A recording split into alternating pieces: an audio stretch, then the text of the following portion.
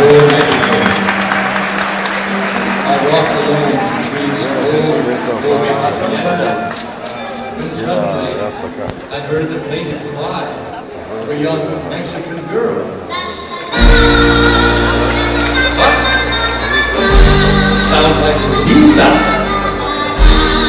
followed us all the way to Tel Aviv.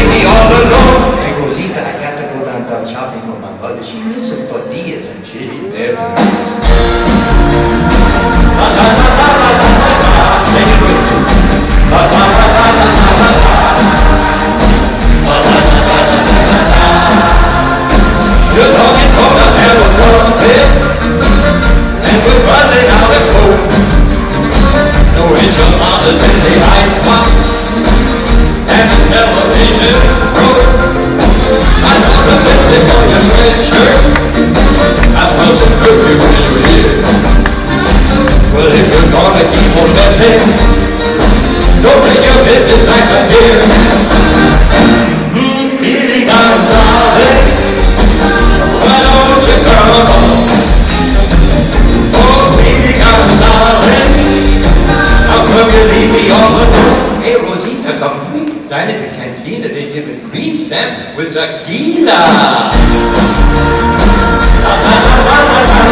Sing it again.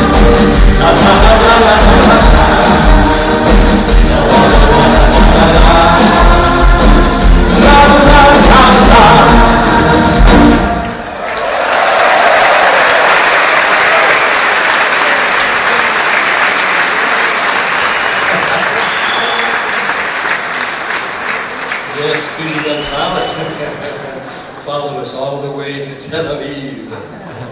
I'm glad you can join us for this auspicious occasion.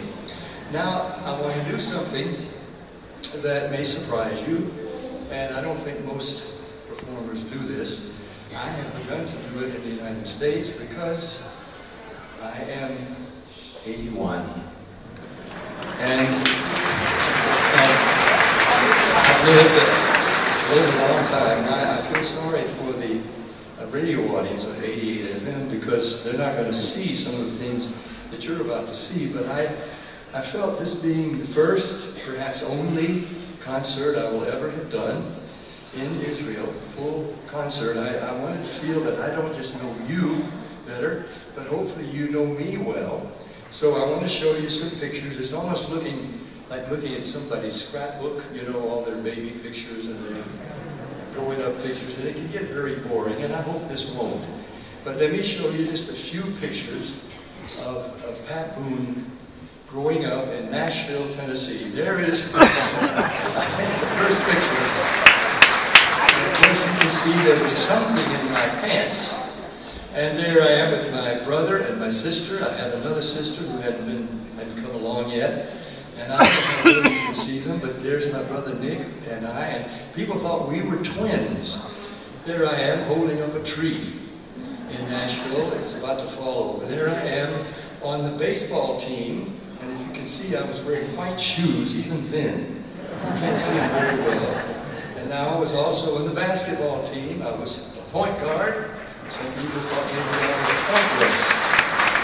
And uh, I a good defense man. I could shoot and I could dribble. There I am dribbling now. In fact, I dribble sometimes even today.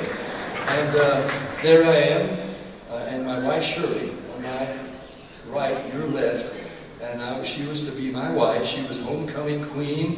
And for some reason, since I was her escort and the president of the student body of our high school, they put a crown on me.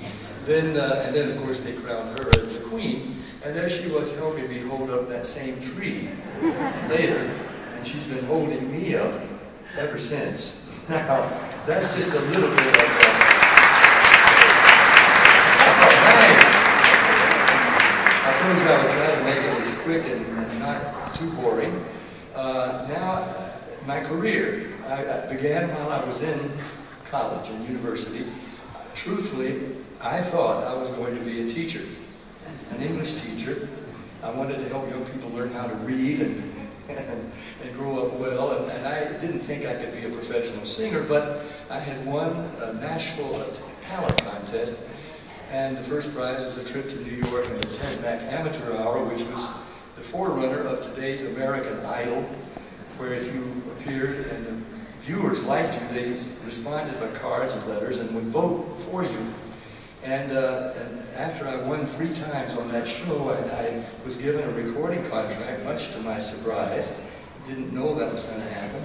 And I began to make records, and they just, it just, it was miraculous. In fact, here is a little newsreel footage.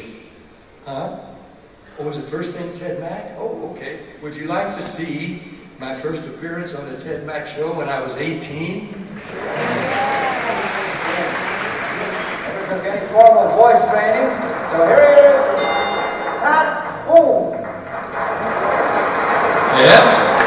Well, looks like you're, looks like you're about to jump over that camera there, Pat. But before you get started on that song, let's keep the history book straight here. Uh, tell us about uh, Daniel Boone once more, will you? Well, he was my great, great, great, great grandfather, Mr. Mack. That's really so, huh? Four greats. Well, it's a shame he can't uh, hear you sing tonight? Well, who knows? Maybe he can. Hope so. Well, you've got something there at that. Well, what are you going to say? I believe. I believe. Fine, fine. Pat Boone.